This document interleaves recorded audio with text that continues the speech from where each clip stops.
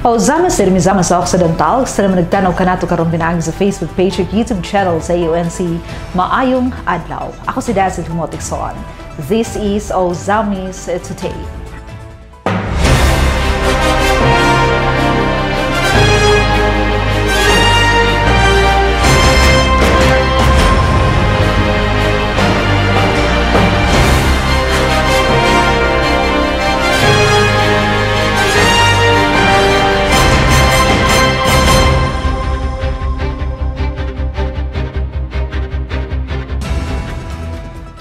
Sa tuang mga headlines.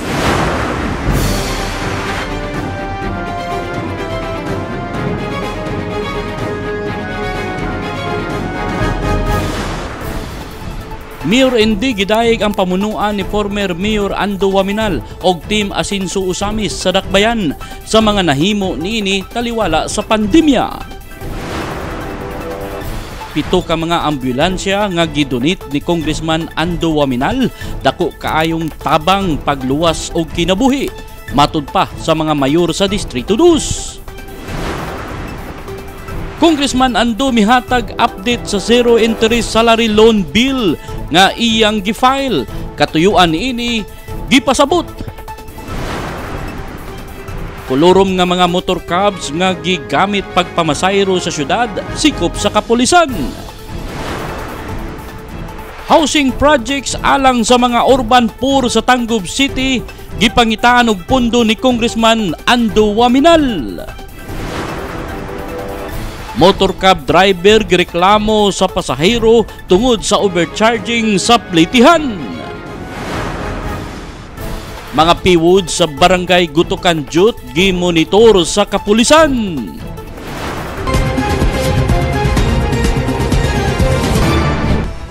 Kini ang detalye sa Ozamis Today. Mayor Indy Dagang pamunuan ni former Mayor Ando Waminal ug Tima Senso Ozamis sa Dakbayan sa mga nahimo nini taliwala sa pandemya. Ang good news ni ini nga report.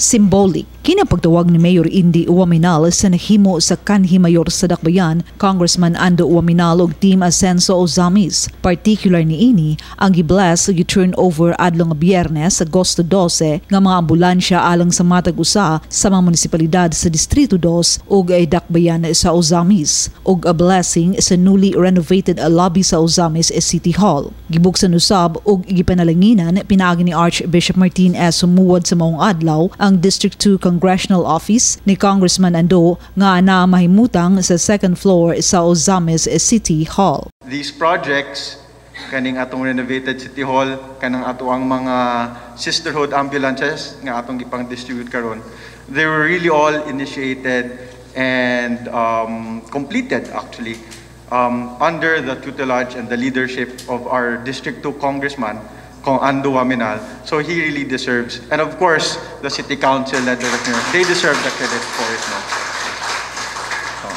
Gawas na turnover ng mga ambulances alang sa District 2 municipalities ug City Hall lobby, special mention usab ni Mayor Indy ang pag-rehabilitate sa pamunuan ni Congressman Ando dili lamang sa physical structure sa Ozamis City Hall apan usab ang pagserbisyo sa mga empleyado ngadto sa publiko. Sa tulo ka tuig nga pagdumala ni Kong nilang Vice Mayor Bibi and of course the City Council, ilahag yung na rehabilitate ang City Hall katong um, lain nga perception, lain nga um, kumbaga mga pamalagad diri sa City Hall sa una ilang na bag-o ug ilahag yung nasigurado nga ang mga taga City Hall maayo na gyud manerbisyo sa katawhan.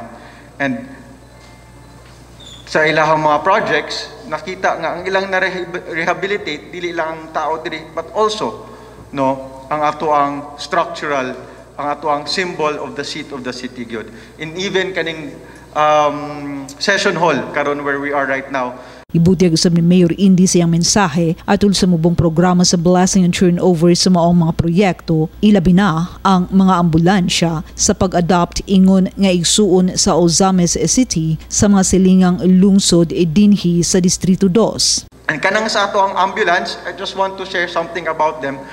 Um, yes, they are um, being distributed to the efforts of the Ozamis City Administration. Pero ang reason ana is because During the past administration, Uzami City adopted all the municipalities and cities here in District 2 as sister municipalities and cities. Kumba, ilahang gidawat nga murag igsuon ang uban LGU diri sa syudad. Kaya ang ilahang gusto ipaabot nga, kita ra tanan magtinabangay para maabot gina nato atong gipangandoy nga asenso sa tibok distrito o sa tibok probinsya no. And karon this is a tangible uh, manifestation of that nga ang usamis mutabang kanunay sa um, iyang mga sister LGUs no ang usamis will always welcome everyone from the district and of course everyone in the province because muni ang usa sa atong strength nga the, ah, of the entire team Asenso no? And it is through only through our working together that we can really achieve what we want for the entire province and not just for our respective cities and municipalities no? It is through working together Pinaagi ni ini nga panaghiusa og panagtambayayungay, giabi-abi ni Mayor Indy ang tanan gikan sa tibok Misamis Occidental ug Distrito 2 dinhi sa Ozames City. Kay ni ini nga panaghiusa og pagtinabangay, ligon ug makabot gayud sa kinatibukang Team Asenso ang tanan nga buot makabot mahimo niini dili lamang alang sa tag sa tag sa mga lokalidad apan sa kinatibukang probinsya sa Misamis Occidental. Pito ang mga ambulansya ang ginonate ni Congressman Ando Waminal idako kayong tabang at pagluwas sa kinabuhi matud pa sa mga mayoro sa Distrito 2. Ma-report si Bernal de Texon.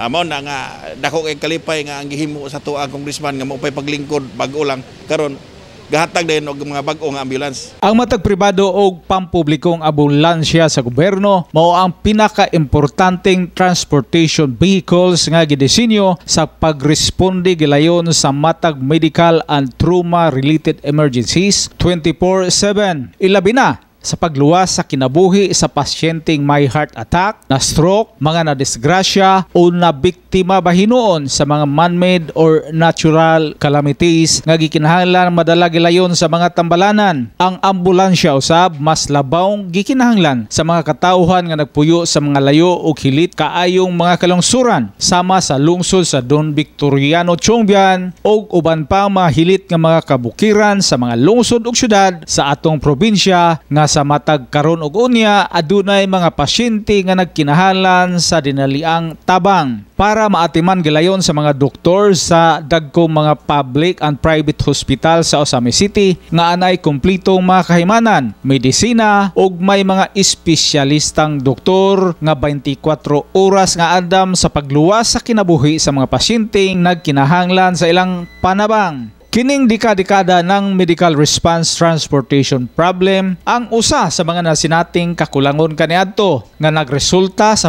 pagpanaw o pagkamatay na lamang sa dili na maihap nga mga pasyente nga wala gayud in taon nga mahatagig chance nga maluwas ang ilang kinabuhi pinaagi sa pagdala gilayon sa ospital para mahiling man lamang sa mga doktor pero maay na lamang kay sa pagkakaron may kasolbaran na kini nga problema. Gumikan kay bisan wala pangayua sa katawhan sa atong distrito ang atong batanon nga kongresista sa segundo distrito sa probinsya nga si 19 Congress Assistant Majority Leader Representative Sanso Fernando Ando Puentes Waminal ang nakakita ng daan ni ini nga problema og nakahuna-huna na dayon og solusyon para masulban na kining nasangpit nga kakulangon. Pinaagi sa iyang inisyatiba ang lima ka mga lungsod sa atong distrito ang may tagsa-tagsa na ka mga brand new nga mga ambulansya. Pait kayo ang ang pagtransport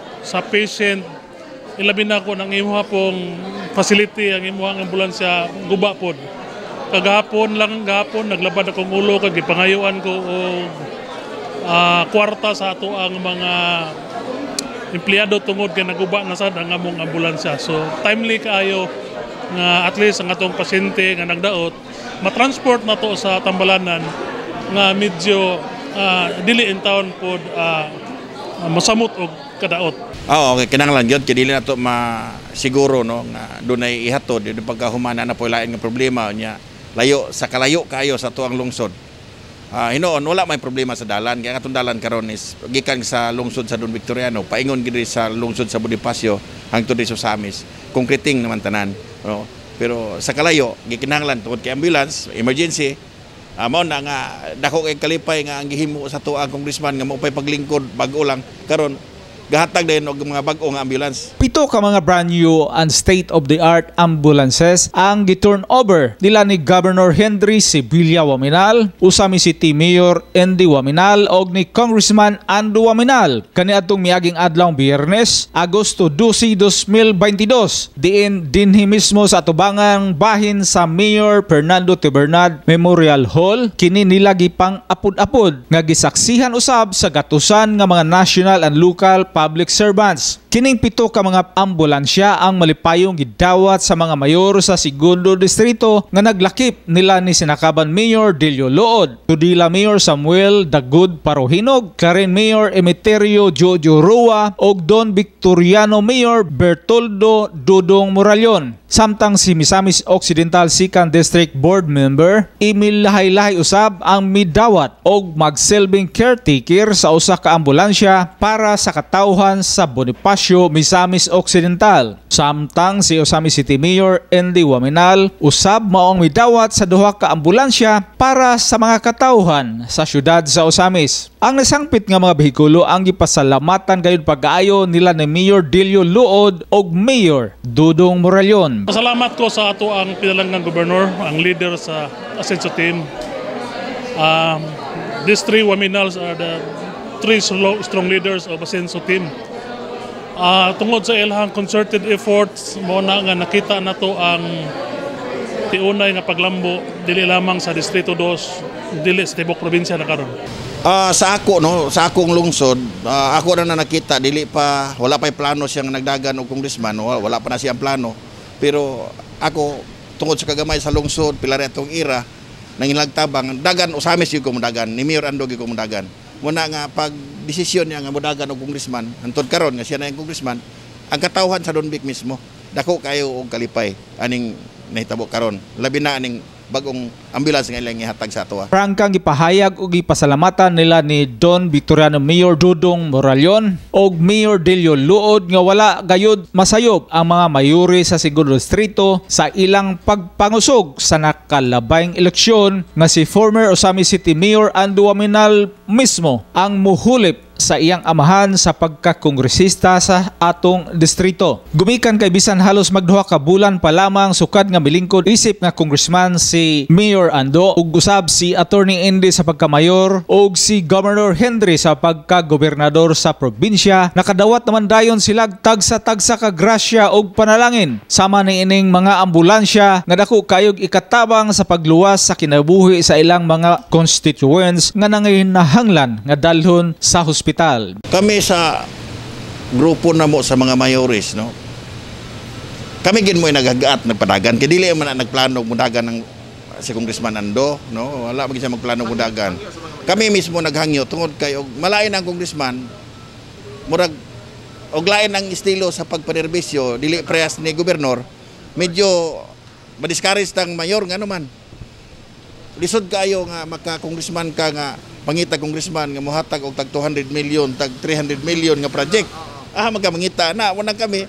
Dili mi gusto nga mailisan og lain nga pangalan. Nga naman mausab na pud ang kwan. Nga kitang mayor nagagad lang ta sa ato ang mga sa gobernador ug sa ato congressman. Mo na nga kami paspas ang among proyekto tungod po sa paglihok sa ato ang congressman ug ato bagong gobernador karon. On behalf of the uh, mayors of uh, Misamis Occidental, salamat mi sa tulo ka strong leaders sa probinsya, sa Asenso, Governor Henry Waminal, Kong Ando Waminal, and uh, Mayor Indy Waminal uh, for sharing uh, their blessings to us no sa mga mayores sa segundo distrito especially niining ambulansya nga gihatag and I hope um, ang Ginoo magauban kanunay sa atong mga plano sa ato ang kaugalingon especially sa katawhan sa Misamis Occidental.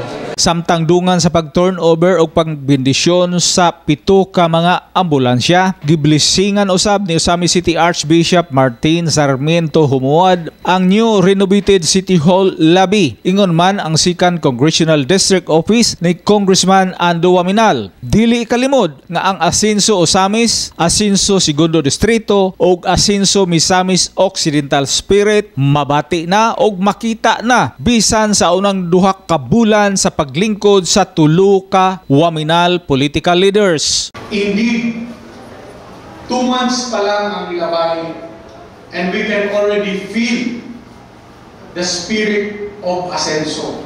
How much more when we get together 10 months from now, 12 months from now, 3 years from now, or 9 years from now. We can only use our imagination.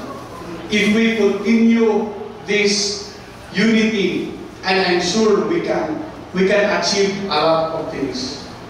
Kining ato gipahigayon nga turnover sa ambulance karon. Kumbaga, appetizer pa lang ni. Sa pagkakaroon gipadayon ni Osami City Mayor Indy Waminal ang nasugdanan ni former Mayor Ando Waminal nga mga big ticket infrastructure development and social services projects. Ilabi na gayod ang free hospitalization and funeral services program. Samtang si Misamis Occidental Working Governor Henry Waminal pagasugda na usab sa dili madugay ang iyang One Family, One Professional Program. Usab ang pag-construct sa 1 billion piso Misamis Occidental Provincial Hospital nga anaa mahimutang sa Barangay Talairon, Oroquita City. So, the hospital, we have a very modern plan, no? And then, kanang, uh, looking forward to the future, ka traffic na. So, kung emergency, kinahanglan i-airlift ang pasyente. So, ang mga hospital, doon na na hilipad, ready to receive helicopter in case of emergency. No? So, na mo na, it will start, no? O miyog boycott ah, maibalo mi mangita ni Vice Governor Wing o board members o kwarta. Samtang ang ultimate goal usab karon sa Misamis Occidental Provincial Governor ang pagdevelop sa probinsya ingon nga one of the tourist destinations in Binanao. Sugda na usab sa sunod nga bulan ang construction sa Asenso Osamis Misamis Occidental Resort and Aqua Marine Park sa lungsod sa Sinakaban nga gidahuman nga dugukon sa mga turista isip nga the Maldives of Mindanao. I-showcase na to kada lungsod attraction. No? I-require na to ang mga mayor mo submit o unsay maanhangan sa tourist by January, February next year, pila ka oras o pila ka adlaw, and then suportahan sa sa probinsya sa pagdevelop ana. But atong i-showcase na miss off dunay new brand sa tourism and that will be Maldives of Mindanao. Okay? So, doon na tayong 160 million tayo mag-allocate. Magsugod sa bidding next month, no? Mabid next month. Magsugod implementation by probably tinakado by October.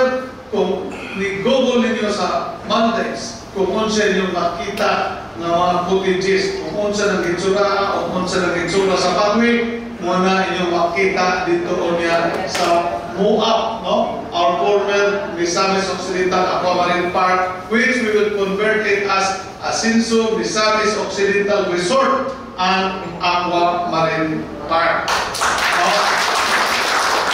Alang sa Osamis Today, ako si Bernal Tixon.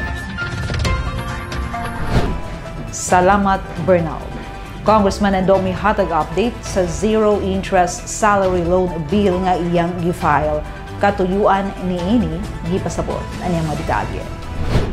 Sa pagbalik ni Congressman Ando Uwaminal sa dakbayan sa Uzamis, human sa pipila ka semana dito sa kauluhan, nakigatubang gilayon siya sa katawhang ni sa Misnon, pinaagi sa usa press briefing uban sa local media aron mohatag update sa distrito ug sa iyang trabaho dito sa Kongreso. Usa sa gihatagag tubag sa kongresista ang gikahinaman ilabi na sa mga gustong mag-loan nga mga government employees. Ang update sa House Bill 2199, ang zero interest salary loans for government workers nga gifile ni Congressman Ando. Apan una pamihatag sa update sa iyang unang House bill, gipasabot ni Kong Ando kung nganong nadasig siya sa pag-author ni ini. You know, when I was mayor, and kabalutan ng mga empleyado sa City Hall din, eh, akong gitanaw kung pila ang ilang take-home pay sa mga taga-employees. Now, ang uban, gamay na kay take-home. Take-home nga di na mabuhi because of the deductions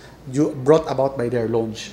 So, katong pag-expire sa ilang loan, or katong ang uban nga pwede mo renew bisag wa panahuman, akong gi stop tanan loan applications. Wa ako ni perma. No? Kay di ko gusto nga mag-loan ang mga tao kay you know kanang mag-loan ako take it from me. Kung mag-loan mo for something nga kaning walay ROI. At the end of the day, lugi mo. Mahurot baonon mo sa utang.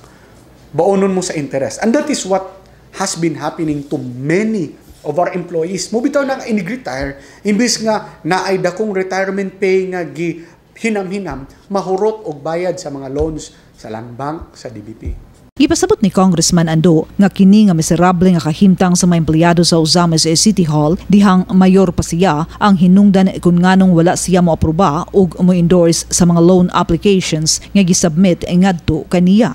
Apan, kini aksyon sa kanhi mayor sa Dakbayan may resulta sa kasuko sa mga empleyado kang Kong Ando tungod kay gibati sa mga apektahang empleyado nga gibutan sila sa paggamit sa ilang kaugalingong kwarta. Ilang kaayuhan ang naa sa hunahuna ni Congressman Ando. All I want is what's best for them. Kaya unsaon man pagkabuhi sa atong empleyado ko ang makuha na lang 2,000 kada kinsinas. Diba? That's one. Number two, kung muna lang na yung take home, ah, ang uban mo ng kabalo mo sa gobyerno, matintal na lang dayon. Matintal nga, dawat og mga rent tips. Ana. Because wala may sweldo, kaya nahurot naman og bayad sa loan. No? Sumutong gipastap na ko, pero suko sila. So, hinko, surrender ko. Hinko, ah, nyuham ng kwarta. So, gusto mo mag-loan? Sige, endorse ko. It's your money. Bisan pa man, misurrender ang kanhi mayor sa Ozamis ug gitugutan sa pag-loan ang mga empleyado. Apan na nasi ang hunahuna nga mo come up og solusyon nga makatabang kanila nga dili maggaid og malubong sa utang. Bisan wala pa mapili ingon nga representante sa Distrito 2, apan gihunahuna na gayud ni Kong Ando nga matabangan ang naglisod nga mga government employees. Dili lamang idinhi sa Ozamis City ug sa Misamis Occidental, apan sa tibuok Enesud. It was part of our um, plan pag yun sa una, uh, even before the elections, na once elected, we will try to find a remedy for this. So, that's why we have filed a bill, no, providing for a zero interest sa loans sa mga government employees in government financial institutions, most specifically Land Bank and Development Bank of the Philippines or DBP. Gipaklaro ni Congressman Waminal nga naka-focus ang iyang gipasar nga bill sa Land Bank ug Development Bank of the Philippines, mga government financial institutions nga makahatag niini nga zero interest salary loans sa mga empleyado sa gobyerno. Okay na na nga gapalon sila sa mga LGU, gapalon sila sa mga mga farmers, wa nagali ka loan. Palon sila sa mga contractors, kapalon sila sa mga businessmen. That is enough income already. I believe para makakover aning benefit nga atong ihatag sa mga government employees who I consider as our modern day heroes. No, kaniya itong mga government employees, maka-avail sila og 0% interest kung mag-loan sila sa Land Bank o sa DBP or any other government financial institutions. Pero we are focusing, um, to be honest, we're focusing on Land Bank and DBP kaya di man gunam o ang supposed purpose sa Land Bank o sa DBP. No? So, as what we have shared, let's give our government employees, our heroes, the opportunity to take water from the well without killing them. Proud usab ni share ni Kong Ando nga positibo ang feedback nga nakuha sa House Bill 2199 gikan sa iyang kaubang mga kongresista sa 19th Congress. Gani daghan ang midul kaniya og mipahayag nga mo co-author sa iyang gipasar nga House Bill nga iya usab nga gitugutan kay ang mas daghan nga sponsors makatabang usab iniini. Sa update iniini nga bill, kini ang impormasyon nga gi-share ni Congressman Ando Waminaw. It was already passed on first reading, no? So and was referred to the uh, appropriate committee. So paabot na lang ta kung kanus ana i-hearing sa committee. No? So I think um, definitely this year mahir na ang ato ang kuan and then we will fight for it, we will work for it no nga at least man lang at least nga bisag sa land bank ug sa DBP um, they can give that incentive or that um, privilege to our government workers. Koloro mga motor cabs na gigamit pagpamasahero sa syudad Sikop sa Kapulisan. Gitutukan ni Boyet Lumapas sa maong balita. Ani ang iyang report. Unang nasampulan sa kapulisan ning Dakbayan ubos sa superbisyo ni Pulis Major Dennis Tano ang OIC Chief sa kapulisan sa Usamis ang mga kulurom nga motorkab. Tulo ka mga private motorkab nga gigamit sa pagpamasayro dinhi sa syudad sa Usamis ang nasikop sa kapulisan. Kini tungod sa daghang reklamo sa mga sumasakay nga matud pa maoy kasagaran nga maningil kanila og dako nga plitihan nga sa ilang pagreklamo, kulor na lang sa motorcab ang ilang ma-report sa kapulisan tungod kay wala kini cab number o kasagaran nila nga masakyan ang mga kulurom nga motorcab sa panahon sa kagabion o kadlawon. Matud pa ni Police Major Tano nga warning kini ngadto sa uban nga mga kulurom o private motor cab nga gigamit sa pagpamasayro. Ang maong tulo ka mga kulurom nga motor cab gi-impound kini sa buhatan sa kapulisan hangtod nga masitol nila ang ilang penalty Gidugang pa ni Police Major Tano nga tungod kay permiro pa kini nila nga operasyon, wala una kini niya gipa LTO tungod kay dili moubos sa 20 mil pesos ang ilang mamahimong penalty sa LTO nga matud pa ni Police Major Tano maglisod na kini sila. Og lukat. Gipaklaro ni Police Major Tano nga wala nay hunong ang ilang operasyon nga sa sunod nga aduna pay magmagahi nga mga kolorom nga mga torkab nga padayon gihapon sa ilang pagpamasayro ila na kining idiritso sa LTO. Sugod, sugod lang ni. So mahimo nato ni siya nga warning na pod, no? warning lang sa punta no. Warning. Ay dili na lang pod nato ditso-ditsoon pero next in the coming days di man ta mohunong ane. Usa naman ni part naman ni sa operation sa kapulisan. Sunod nga napagyapoy magmagahi nga magkuan. Diretso na. Diretso-diretso na ta. Oh. Diretso-diretso na ta atong kanan. Walay hunong ang kapulisan sa ilang pagpanakop sa mga kulurom nga motorkab tungod usab kini sa tabang sa mga motorkab drivers nga kumplito og mga papel ilabi na sa franchise nga matud pa nila nga unfair usab kanila nga adunay saktong papel sa ilang motorkab. Ah, so napatay gi-target nga kuan kay ang katong mga motor cab drivers nga kanang naisakto nga prangkisa sila po yung tabang na to Okay. Nga kanina masayro ni Unfair kay para nila. unfair man sa ilaha Unfair, Oo. so kumpleto ta o it's- mo challenge sila kumpleto ta video nila kay mingon man sila pirmero nga wala kuno sila na masayro pero Karon, og ato yun. silang og mo challenge sila di LTO na lang nato dahil ato pakita sila ang video nga masayro sila Iyang gidugang nga ang ilang pagpanakop dili kini mahibaw-an sa mga namasayrong motorcab. Og aduna kini video nga dili na makadinay pa ang motorcab driver nga bisan kompleto og papel ang iyang motorcab. Apan naningil kini og sobra kadako sa iyang pasahero wala kini lusot sa kapulisan. Pamahayag pa ni Police Major Tano. So, kung siya man nato pag answer. Surveillance ne sa ang intel mo ay ga ga surveillance dahil Sugod. ipasan niya sa patroller ang patroller na magkapag Sinugdanan pa ni sir. Sinugdanan pa ni. Okay. wala na nakuha na to sa operation kagabi o ganyan kadlaw Panawagan pa ni Police Major Tano ngadto sa kulurom nga mga motorcab nga padayong na masayro sa syudad nga dili na mamasayro aron dili na mahasol kung kamo madakpan. Tungod kay matud pa ni Major Tano nga kasagaran nga gireklamo sa mga sumasakay mao ang mga motorcab nga walay number o kulurom nga mga motorcab. akong panawagan sa oh, mga kolorom nato nga mga motor cab dili man unta mo mapansin kung dili lang po mo nagbinulay og og paningil sa mga pasahero. Same. ang gireklamo gyud sa ato mga pasahero mga kolorom walay number ha so mao na nga ayaw na mo pamasahero ha kung mahimo lukat mo og prangkisa, agi mo og proseso. And then ah sugdan na namo ni, sugdan naman namo ni. So ad- adlaw-adlawon, kadlawon-kadlawon, wa may lingaw ang pulis. So amo ning panghingusgan pa. Bisan sa mga motorkab nga adunay franchise nga padayon nga naningil og sobra kadako sa ilang mga pasahero matud pa ni Police Major Tano nga iya usa kining ikonsulta ngadto ni Konsyal Romero ang chairman sa Committee on Transportation and Public Utilities sa Konsiho ning Dakbayan. Og kung maplastar na ang tanan ang sunod nga ilang operasyonan ang mga motorkab nga adunay franchise nga padayong naningil nga sobra kadako sa plitihan nga matud pa ni Police Major Tano nga kung kini ilang mapamatud-an. Pwede nga makansila ang ilang prangkisa o posible sila nga mag-atubang og kasong pagpangilad. na bisag na franchise pero ah kana manggong na sa na franchise kanang kuan nalang may gamay i mitingan ana ha?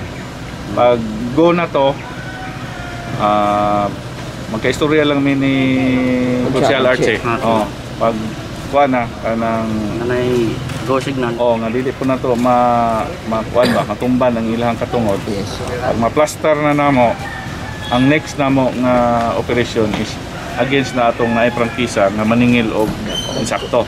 So posible nga makancel ilang prangkisa kung mapamatud-an nga naningil sila sa sobra. Ha? Ha? Worst kung atong pailan og kaso atong gingon criminal case. Oh, sa pagpangilad. Alang sa Osamis Today, kini si Buyit Lumapas. Salamat Boyan. Housing project salang sa mga urban poor sa Tanggubi City pangitan og pondo ni Congressman Ando Waminal. Ma-report si Leon Medalio.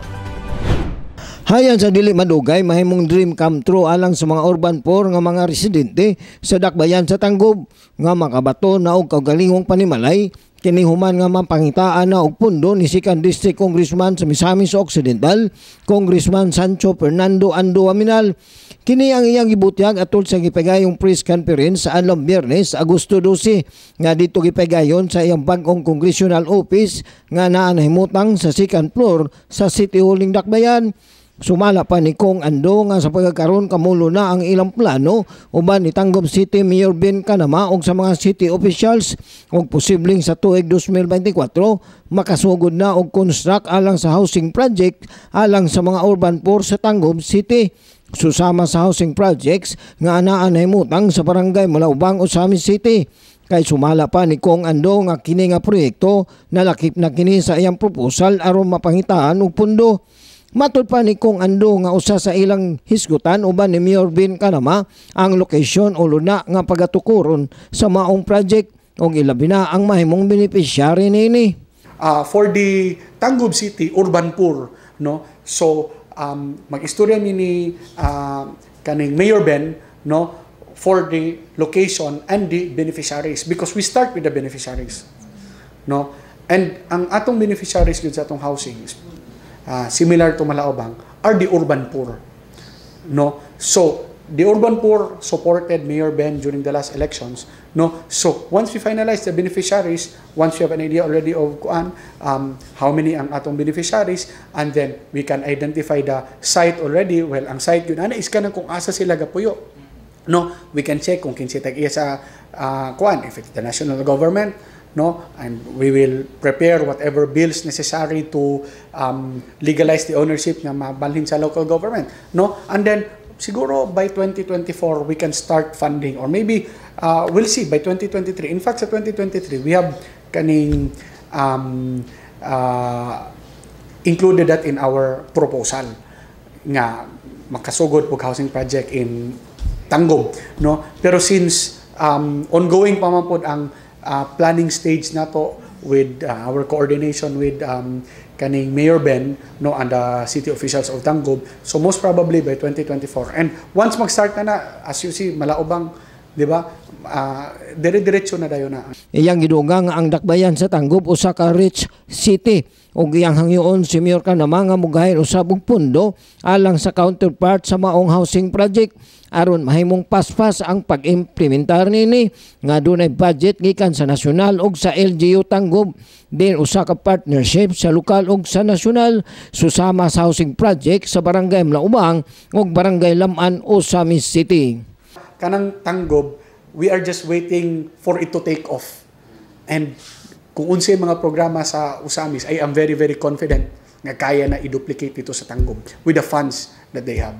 So muna, uh, kanang balik ta tong housing, ako pong hanyoon si Mayor Ben, nga para paspas, dunganon, magkuha tag mag, magdala tag budget gikan sa national government and then ang local government po s- counterpart po similar sa ato ang joint effort sa Malaubang and not just in Malaubang eh, Laman. Di ba? Laman uh, Senso Samis building and Deputy Speaker building sa Senso Samis building is funded by the LGU Deputy Speaker building is funded by the national government through the efforts of Congressman then Congressman Henry Waminal no? So kana nga partnership mo po na itong i-establish sa Tanggob Kay numduman nga netong bulan sa Nobyembre sa nakalabayng tuig, ang mga urban poor beneficiaries sa dakbayan sa Tanggob personal nga nakigtagbo ni Osami City Mayor Ando Waminal aron paghangyo nga matabangan sila nga makabaton og kaugalingong Pinoyanan pinaagi sa housing projects kini human nila makita ang maong proyekto diya sa barangay Malaubang Urban Poor Housing Projects. Kay sumala pa nila sulod sa pipila ka tuig ang milabay nga wala gayud sila matagad og human nila hinambi personal si Mayor Ando adto higayuna sila nga mga membro sa Urban Poor Tanggob City aduna nay kahayag og paglaom nga makabato na unya sila og kaugalingong Pinoy anan. Alang sa Usamis Today, ako si Leoncio Medallo. Salamat Leoncio. Motorcab a driver gireklamo sa pasahero tungkol sa overcharging sa plitihan. May balik alang sa report si Boyd Tumapas. Gihold sa City Traffic Management Service kon CTMS ubos sa supervision ni Wendell Inaan ang team leader ang usa ka motor cab driver nga si Juni Inumar. Lumalupyo sa Barangay Gango usa ka striker nga nagmaniho sa motor cab number 0283 tungod sa reklamo sa iyang duha ka mga pasahero nga matud pa nangayo kini og tag 40 pesos matag usa o 40 pesos usab sa ilang karga nga gikan sa Maningkol Highway padulong sa Agura Dako ang katingala sa iyang pasahero sa kamahal sa gisita sa maong driver. Ila kining gipangutana og mao bagyod kini nakabutang sa taripa nga plitihan sa Maningkol Highway padulong sa Agura. Tubag pa sa driver nga mao na kini ang naandan. Matod pa sa maong pasahero nga gayaw-yaw pa kini sa dihang ila kining gibayaran og 100 pesos. Sa interview sa motor cab driver nga si Juni Inumar, nga iyang nahimo ang pagsingil og tag 40 pesos nga plitihan tungod kay matud pa niya nga mao na kini ang naandan. Iyang gidugang nga nasayod siya nga ang taripa ana lamang sa tag 10 pesos.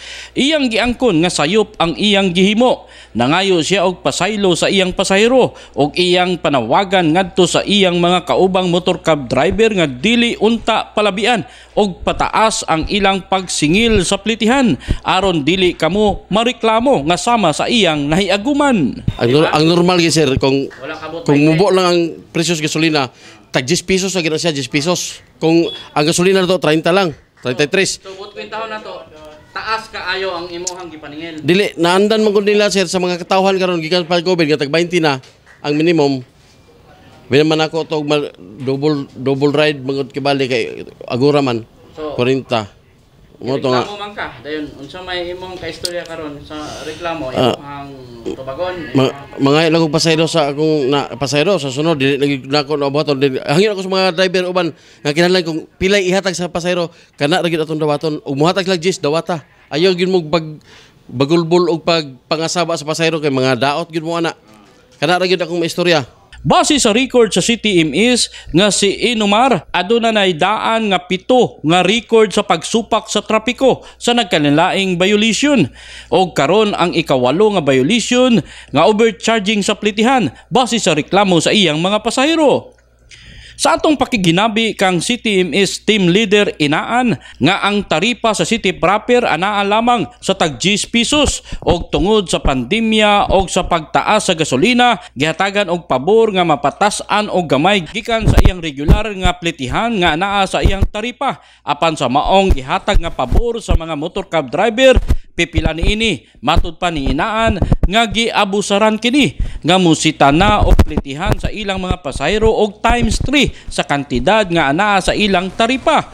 Tungod niini, ang buhatan sa CTMS magpaabot lamang og reklamo nga gikan sa mga sumasakay og andam sila kanunay nga mo issue og ticket sa mga pasaway nga mga motor cab drivers. Mo lagi ang ato laging pam pamasahe. Ang atong taripa, G's man ang atong taripa. Pero mihanyo ang mga motorista nato, mga driver nga atong pasakasakaan o pamasahe giinato ra mangani na naa. Wala mangani na ingon nga nagyud ka agita sa sa resolution kay tungod mahal sa gasolina. Pero tulo na magani pod ka pasahero mukarga nila mao po tong ginan mangani nako nga ayaw na lang pod o palabii pod o paningil ng mga pasahero nga 45 o kanang 15 Times 3 pa. mo times 3 pa man gani. O ako gahulat lang po ko sa mga pasahero og naay-complain kay andam po na ako apong opisina nga ako pong tikitan ang mga mga driver nga misupak po sa ila ang pamasahe diri sa atong syudad. Sa pagpaklaro ni Inaan nga kung pasayloon sa nireklamo sa motor cab driver wala kini nagpasabot nga wala na say tulubagon. Tungod kay ang CTMS mo issue gihapon kaniya og ticket. Tungod kay siya nakasupak sa city ordinance nga overcharging sa plitihan. Pasayloon sa reklamo pero kaming diri sa among opisina dili siya na mahatag na mo pasaylo. Kay amo gisan tikitan og overprice. Kaya nakabayulit siya. Kay nakabayulit siya sa ato ang diri sa city ordinance na to. Wa pasabot nga natagaan sa ticket, mahimo po na siyang leksyon niya dili sa motro. Aw kana gyud sakto gina nga kana leksyon gina nila og leksyon pod sa ubang po mga driver nga magsubra pod og papaningil sa ilang papamasahe sa atong katawan nga mama- kanang pasahero nato dire. Gidugang pa ni Inaan nga kun ang usa ka motor cab driver makahimo kini sa katulo kahigayon nga madakpan sa susama ra nga violation mamahimong makansila ang prangkisa sa motor cab nga iyang gimaniho. Naay atong limit og magkapariho-pariho ang mga violasyon. Tamang katulo din ipa-cancel na ila ang kanang bis kanang ilang permit kanang ilang license nila o kanang ilang pong kanang sa pra, kanang sa ilang franchise nila. Oh, ma-cancel na nila. Alang sa Usamis Today, kini si Buyit Lumapas. Salamat Eboyet. Mga PUDs sa Barangay Gutukan Diot gimonitor sa kapulisan. Atong idawato ng report ni Leon Medalio. Gipailalom karon ang pagmonitor sa 42 ka mga PUDs kon person who use drugs sa barangay Gutukan Diot ning Dakbayan pinaagi sa mga sakop sa kapulisan ilalom sa supervision ni OIC Chief of Police sa Usamis, Police Major Dennis P. Tano, uban sa religious group, barangay officials o local media aron pagsubay kung nagpadayon pa ba sila sa paggamit sa ginadiling droga. Ang barangay Gutukan Diot usa sa tulo ka mga barangay ang barangay di Maluna o barangay Pulot sa Dakbayan sa Usamis ang pinakaulahi nga nag-apply aron mamahimong drug cleared barangay ngadto sa Philippine Drug Enforcement Agency CONPIDIA o sa Regional Oversight Committee on Barangays Drug Clearing. Gipahimangnuan ni Police Staff Sergeant Anami A. Siriali sa PNP Usamis ang mga PWODs nga unta dili na sila mubalik pa sa paggamit sa ginadiling droga o giyang gihangyo nga mo participate sila kung adunay mga kalihukan sa ilang barangay ilabi na sa Community Based Drug Rehabilitation Program kon CBDRP. Since nag-apply man ang gutukan jut manggod og drug clearing so kana ang mag-conduct pag yung revisitation para makita namo nga kana ang of, wala gyud. Wala na gyud na kana nalambigit ninyo or kana nimbalik ba sa katuang illegal nga droga nga kuan. So tanan nga PWOS then nabi to pud may mga activities sa barangay hangyo pud namo mo nga since mag apply naman pud tag para drug clearing mag-participate lang gyud ta. Labi na kung panahon na bitaw sa katong kuan na si BDRP Matag simana ang gimong pagmonitor sa kapulisan ngadto sa mga PWODs dinhi sa Dakbayan sa Usamis nga diin usa kini sa kamanduan sa Asinso Usamis Administration ilalom sa pagdumala ni Mayor Attorney Henry Indy Waminal Jr. arong hingpit na gayod nga mawagtang ong ang paggamit sa ginadiling druga aron ang tibok dakbayan sa Usamis mamahimo ng drug cleared city. Kainumduman nga sa pagsugod sa paglingkod ni kanhi Usami City Mayor o karon second district congressman sa Misamis Occidental, Congressman Sancho Fernando Ando Aminal, aduna na 17 ka mga barangay sa dakbayan sa Usamis nga na drug cleared pinaagi sa pagdeklara sa Philippine Drug Enforcement Agency kun PDEA o sa Regional Oversight Committee on Barangays Drug Clearing o gihatagan sa Asinso Usamis Administration ang mga PWODs sa 17 ka mga barangays alang sa ilang panginabuyan pinaagi sa Sustainable Livelihood Program sama sa manok o baboy. Alang sa Usamis Today, ako si Leoncio Medallo.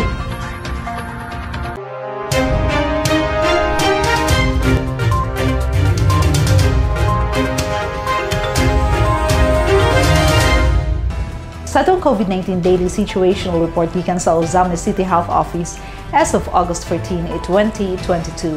New cases 4, active cases 27, 22 local residents, 3 healthcare workers, and 2 government workers. Recoveries 1,707, deaths 171, with total confirmed cases 1,905. Ang Ozamis na rihatod kanato sa public service feature sa Asenso Ozamis News Channel ubos sa pagdumala sa LJ Ozamis pinaagi ni Mayor Henry Indy F. Wamnao Jr. Alang sa dugang information, please like our official Facebook pages. Kong Ando Waminal, Attorney Indy Waminal, o Asenso Ozamis News Channel. Please subscribe to the official Asenso Ozamis YouTube channel. Sa ngalan sa Gitibukan A1 sa team, ako si Dazzle Motikson. Daghang salamat. Padayon Asenso Ozamis. Asenso Segundo Distrito. Asenso Misamis Occidental.